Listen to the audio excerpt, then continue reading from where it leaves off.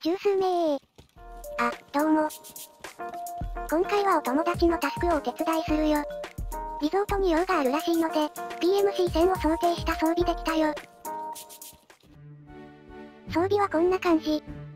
上下クラス5で固める PMC 専用装備。弾は貫通47肉ダメ58の BP 弾を使用。そして武器は MK47 ミュータント。こいつは今回のワイプから追加された新武器で、私のお気に入り銃の一つ。性能も良くて見た目も良い。ただカスタム費用が割とするのと、何より銃本体が高い。レートも遅めなのでしっかり当てないと、打ち負けることもある。同じ弾薬を使える AK 系の武器も使ってみたけど、やっぱりこいつが一番使いやすかった。値段の価値はある。てなわけで今は気象台近くにいるよ。おんどったどった殺しちゃったの？無本なの？恨みでもあった？何があったの？話聞こか？ふむふむ。先に行ってると思ってなくて上からこっち見てたから？敵だと思った、ということか。まあ誤射はね、しょうがないよね。パーティープレイの難しいとこだよね。私もたまにあるし。とりあえず周り見といてあげるから、ちゃんと埋葬してあげて。無事埋葬は終わったんだけどね。タスクしたかったお友達。誤射でお亡くなりになった人なのよね。やることないし、帰ろっか。ん？ちょっと待て。誰だね君は？あーびっくりした。せっかく倒したし漁らせてもらうね。ごめんね、装備もらってくね。ことでトンネル周辺まで来たよ。おんあなた誰です？敵さんでしたか？これは失礼しました。長居する必要もないし。ささっとあさって帰ろっか。気を取り直して2回戦。移動はカットでリゾートまで来たよ。村で出撃したから先に入られてる可能性大だね。タスクは西も東も両方あるらしいので、PMC との戦闘は避けられないと思う。全部の部屋クリアリングするのは大変だから、サクッと廊下だけ全部の階見ようか。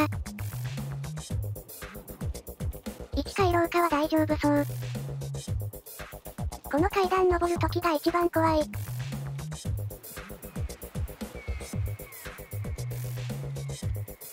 2階廊下も大丈夫そう。3階廊下はダメでしたー。うわー。アップねー。死にそうではないけど、びっくりしたなまだいるかもだからを注射さしとこ。音は聞こえないね。二人組かな？クリアリングして大丈夫そうだったから、ハギ取りチャンス。わお。この人いい装備してますなごめんね、もらってくね。自分のアーマーリグで圧縮して、この人のアーマーに着替えた方がいいね。ってことで整理タイムこの辺のパズルとか、整理とかをもうちょいスムーズにできたらな結構テンパっちゃうのよね動画編集するときに映像見直すと、いやそここうすればいいのにとか、やりながら弾込めるの忘れてるぞ。とか独り言言っちゃうのよ。パーティーでやってると待たせちゃうし、改善目標だね。今もこのリグで圧縮しないのかよって、思ったでしょ？私も思った。まあこの時の私はこれでいいと思ってたから、しょうがないね。その後、屋上から6波で帰れることを確認して、東側のタスクをやりに行くために、連絡通路前まで来たよ。ここ渡るときは鎮痛とスタミナを確認して、直線のクリアリングしてから渡らないと。怖いから慎重に行こうね。おおやはり東側にいたみたい。今のでお友達一人が犠牲に。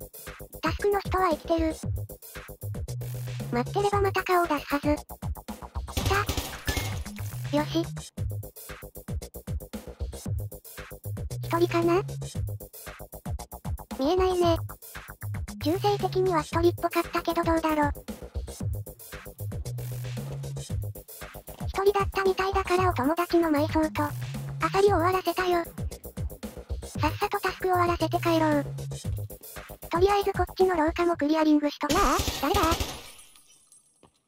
びっくりして私本体が死にかけた。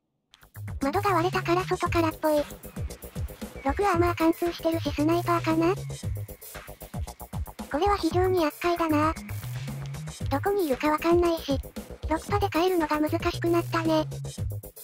でも事前に撃たれててよかった。撃たれずに6パ向かってたら確実に1人は、お亡くなりになってただろうな。おっと、ちょっと失礼。てなわけで遠いけど、ロードプーカスタムまで来たよ。途中打たれることもなく、無事に帰れそう。このマップは出口が少ない人多いし。レイド時間が長くなりがちだよね。まあ無事にタスクが終わってよかった。ほんじゃお疲れ様。見てくれてありがとね。